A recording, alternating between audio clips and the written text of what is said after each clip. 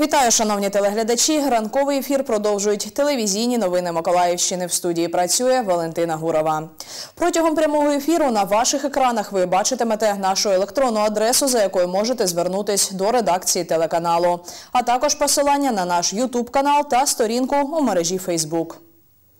Від учора, 29 січня, у Миколаєві оголошено карантин у 14 школах міста. І від сьогодні, 30 січня, на вимушені канікули відправляться вихованці ще 17 шкіл Миколаєва. Інформацію про карантин розмістили на офіційному сайті міськради, а саме навчальні заклади номер 1 імені Олега Ольжича 11, 16, 24, 28, 30, 33, 39, 45, 47, 50, 54, Миколаївський муніципальний колегіум імені Володимира Чайки, гімназія номер 2, номер 41, економічний ліцей номер 1, юридичний ліцей призупинять навчальний процес у вказаних закладах з 30 січня до 1 лютого 2019 року включно. Відповідне розпорядження підписано першим заступником міського голови Володимиром Криленком. Рішення прийнято з метою запобігання зростанню захворюваності на гострі респіраторні вірусні інфекції та грип. Миколаївська загальноосвітня школа номер 22 – одна з закладів, де тимчасово припинено навчальний процес. Тут навчається 1430 учнів. Станом на 28 січня 23% учнів не відвідували школу через захворювання. Тому з метою попередження подальшого розповсюдження інфекцій, розповсюдження вірусних захворювань було прийнято рішення про відновлення, верніше про початок карантину. Домовилися, що карантин в нашій школі відбувається до кінця цього тижня. В четвер, в п'ятницю класні керівники будуть моніторити е, стан здоров'я учнів, і ми будемо точно знати, скільки дітей е, вийде в понеділок в школу, і будемо приймати подальше рішення. На час карантину робота вчителів у школі триває, а учні навчаються дистанційно. Сьогодні перший день, коли діти пішли на карантин. Це ну з точки зору вчителя це не дуже добре, але ми розуміємо об'єктивну необхідність такої ситуації. Але діти без нашої уваги, без домашнього завдання, без можливості працювати не залишилися. У кожного вчителя створені і вайбер-групи, за допомогою яких вони мають можливість спілкуватися як з дітьми, так і з батьками. Бо діти, ви розумієте, бувають е, різного рівня свідомості. Вони можуть просто не доносити до батьків інформацію, що вони мають домашнє завдання. Також з батьками теж спілкуємося.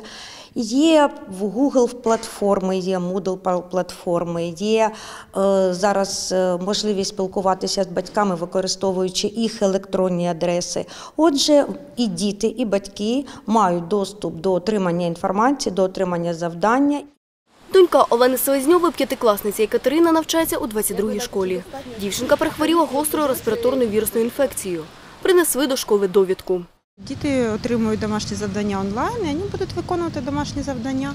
А взагалі то ну, карантин він потрібен, тому що ми, ми от, наприклад, тільки відхворіли. Син у мене ще хворіє, ми ще вдома. От, тому карантин ну, він потрібен. Карантин у школах триватиме до 1 лютого. Епідемії в місті немає, говорить заступник начальника управління охорони здоров'я Віктор Фаюк.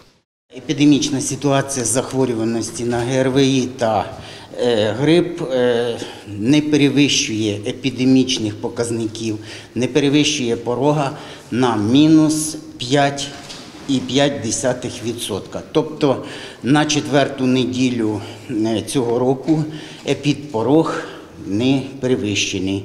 Тому на сьогоднішній день е, говорити е, про те, що є підстави для того, що в нас в місті є епідемія, на даний момент немає. Як в подальшому буде розвиватись ситуація, то ми будемо знати. Управління охорони здоров'я щонедільно, щоденно ми моніторуємо ситуацію із захворюваності. Світлана Кльосова, Юлія Кускова, телевізійні новини Миколаївщини. Кількість хворих на кір у Миколаєві збільшується. Станом на 29 січня на лікуванні знаходиться 78 людей. Про це під час брифінгу у Миколаївській міській раді повідомив заступник начальника управління охорони здоров'я Віктор Фаюк. Е, Що стосується захворюваності на кір, то вона за останній час росте, але незначно. На сьогоднішній день е, в обласній інфекційній лікарні знаходиться 56 е, хворих на кір. В дитячій інфекційній лікарні знаходиться 22 дітей хворих на кір. Важких серед них немає, а вони, як правило, десь середнього або легкого ступеню перебігу. В управлінні освіти радять батькам подбати про вакцинацію дітей. Управлінням освіти направлено лист керівникам закладів освіти з проханням терміново перевірити всі е, щеплення, які є у дітей, і е, особливу увагу звернути на щеплення проти кору. І у тих дітей, яких відсутні щеплення в один рік і шість років, щоб е, заклади освіти терміново повідомили керівників, е, вибачаюсь, батьків щодо можливості і з проханням зробити щеплення проти кору у закладах охорони здоров'я. Наступний випуск новин дивіться вже о 8.30, а ранковий ефір вже готові продовжити мої колеги з нового дня.